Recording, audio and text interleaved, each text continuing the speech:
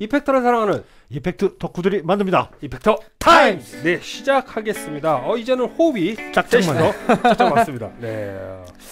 이 오늘 다뤄볼 어, effector는 Crazy Tube Circuits의 어, Limelight를 음. 리뷰를 해보도록 하겠습니다. 이제 저희가 이 임 대표님을 모시고 세 편 정도 진행을 하다 보니까 어, 게스트를 모셨다는 느낌보다는 이제 고정 패널이다라는 네. 느낌도 좀 들고 조금은 이제 저희가 좀더 어, 자연스러운 어, 인간은 적응하는 동물이라고 그러지 않습니까? 어, 정말 짧은 시간 안에 어, 융화된 모습을 어, 보여주고 있습니다. 전 Limelight라 그래가지고 네.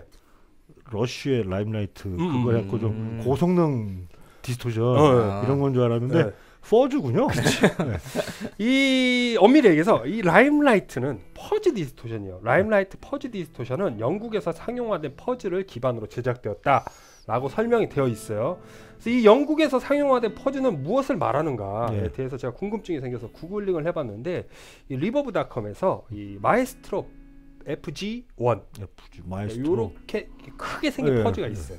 빈티지 fuzz가 있는데 그게 이제 정확하게 그 fuzz를 복각을 한 건지 아니면은 그 사운드가 난다라고 한 얘기를 한 건- 건지. 애매해요. 예. 왜 애매하냐면 예. 영국에서 상용화된 fuzz를 기반으로 제작됐다라고 하는데 Maestro FG1 같은 경우는 Gibson의 로고를 달고 있어요. 그렇죠. 어, 그러니까 미국산이라는 거죠. 그러니까. 어, 그런 부분이 있어서 어, 뭘까? 정말 죄송하게도 제가 이 Maestro FG1 을 경험해 본 적도 없고 어떠한 성향을 가지고 있는 fuzz인지도 그러니까 저희가 실질적으로 오리지널 만나 보기가 되게 어렵 좀. 어렵죠. 어, 쉽지는 않죠. 예.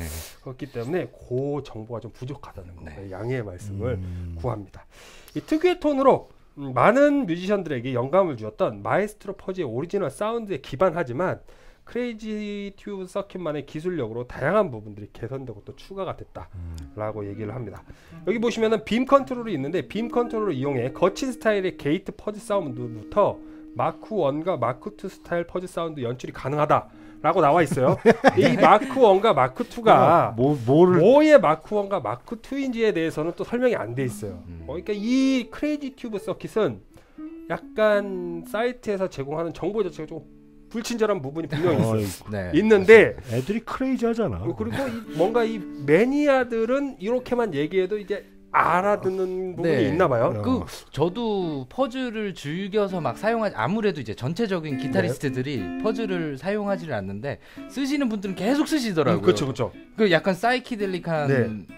거 음악을 하시는 분들은 그 뉘앙스를 distortion이 이런 게 따라가지 이제 아예 못하니까 예, 따라가지 다르니까. 못하니까 음.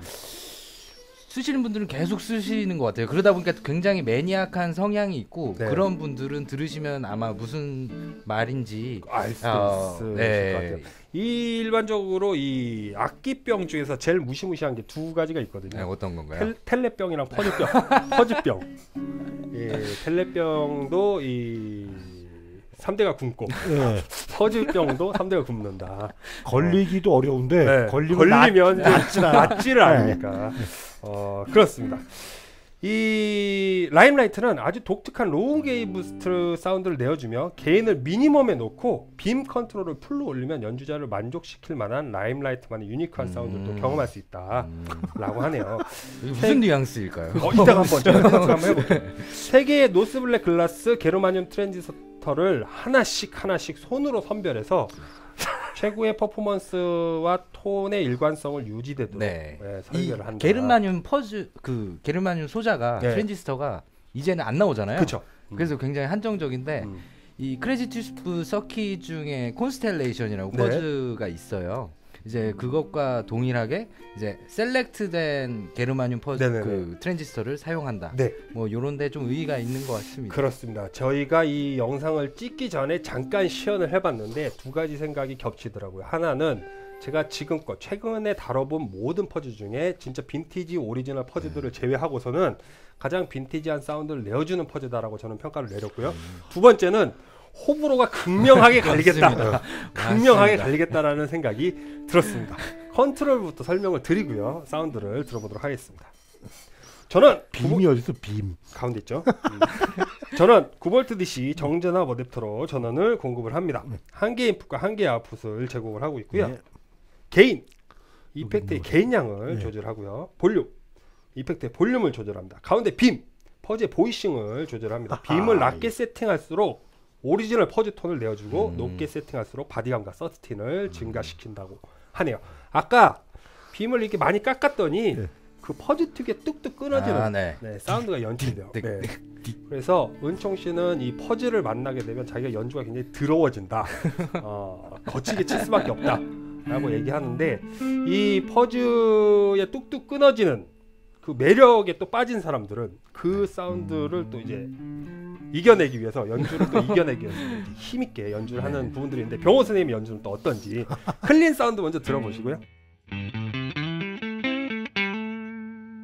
이런 게 그렇습니다. 네. 한번 그 예 저기 Crazy Tube Circuits에서 네, beam을 다 올리고 full로 올리고 네, gain을 minimum에 그거부터 한번 시작해 볼까요? 네, 요렇게 하고 개인을 궁금하네요. 게인을 미니멈으로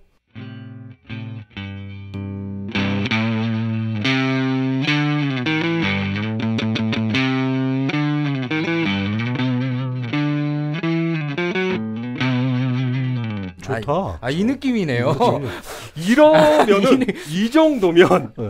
필드에서 충분히 사용할 수 아, 있죠. 정말. 어, 충분히 사용할 수 있죠. 어, 되게 좋다 이거. 오. 아, 이 느낌이구나. 이제부터 이제 저희가 타임머신을 타고 시간을 거꾸로 한번 거슬러 올라가 보도록 하겠습니다. 네. 게인을 좀 높이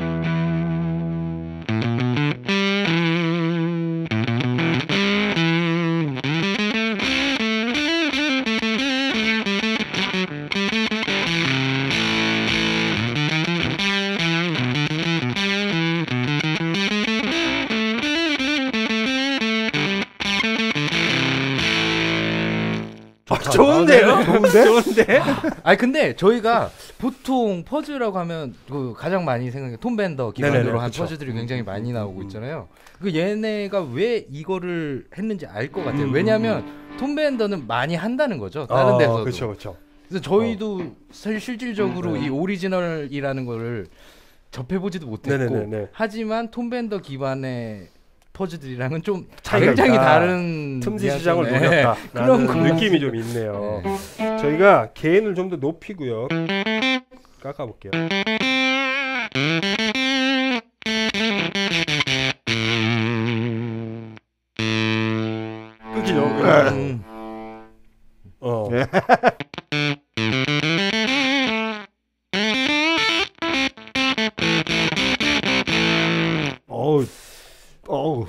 지금부터 보시는 분들 같은 경우는 아니 네. 얘네 왜 이렇게 녹음 상태가 자꾸 끊기냐 그러니까. 끊기냐라고 생각하실 수도 있겠는데 이 게르마늄 fuzz의 특징이죠. 네, 이렇게 뚝뚝 끊기는 부분들이 또 굉장히 또 매력적으로 다가오고 있고 이전에 제가 이 진짜 이제 빈티지 65년 거는 아니겠지만 빈티지 Twin Reverb 앰프를 썼을 때 네. 사운드가 이렇게 뻗자고 이렇게 돌더라고요 사운드가 음. 빙빙 돌아요 공간 안에서 그런 경험을 했었는데 이 친구 역시 연주를 할 때 이렇게 약간 도는 네. 듯한 네. 느낌이 굉장한 굉장히 빈티지한 성향부터 모던한 성향의 퍼즈까지 연출을 하고 있다는 생각이 들어요. 음. 자, 또 과학이 가보겠습니다.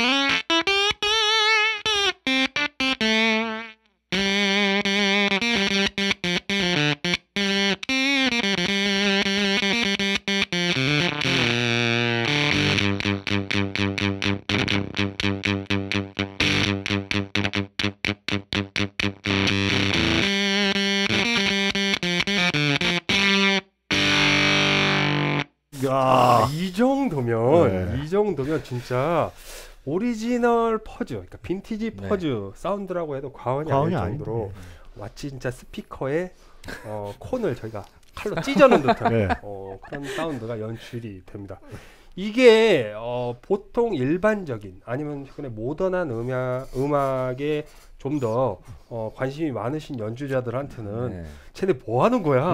어? 뭐, 하지만 이 퍼즈병 걸린 사람들은 이 소리 지금 열광을 하는 거거든요. 예, 지금 우리 다큐멘터리 네네네. 저 작가님 네. 나예은 작가님 모셨는데 네네네.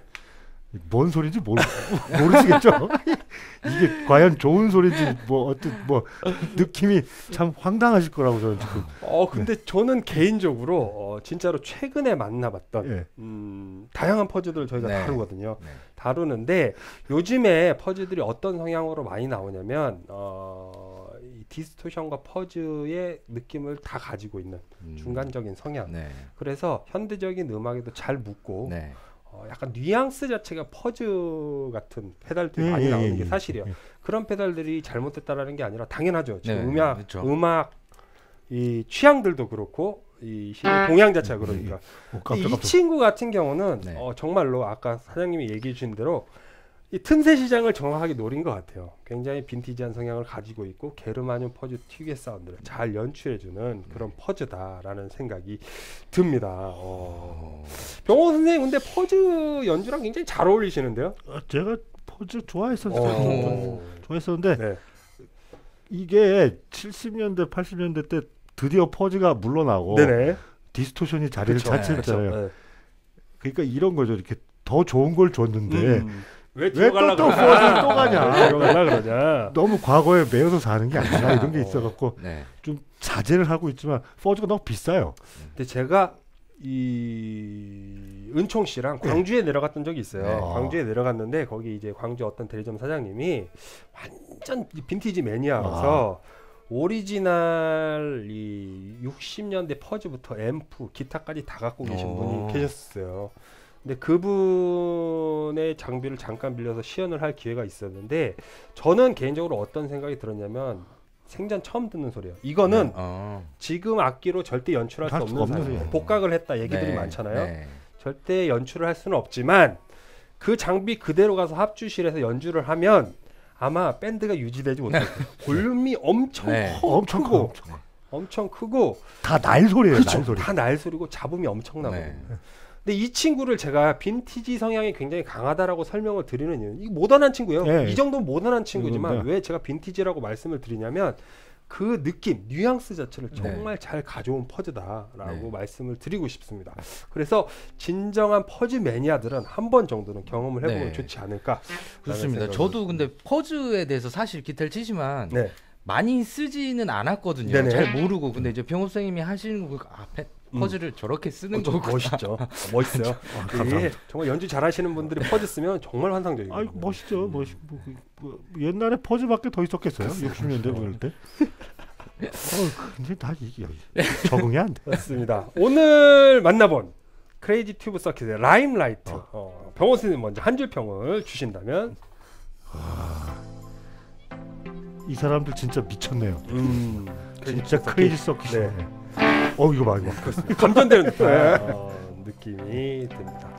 저는 한줄평 이렇게 드리겠습니다. 어, 2020년도에 구할 수 있는 가장 빈티지한 버전. 어 그렇습니다. 어, 물론 오리지널을 사신다면 뭐 할 말은 더 없죠. 있겠지만 뭐뭐할 말은 없지만 이 현대적으로 최근에 출시된 페달 중에 가장 빈티지한 성향을 가진 퍼지였다라고 설명을 드리고 싶습니다. 사장님도 한 줄평 한번 주시겠어요? 아시는 분들은 아실 겁니다. 네. 어. 아시는 분들은 아실 것 같습니다. 네, 자, 정답을 말씀을 해주셨고요. 저희 점수 한번 줘보도록 할게요. 짜령. 하나, 둘, 셋. 8.5, 8.0. 네.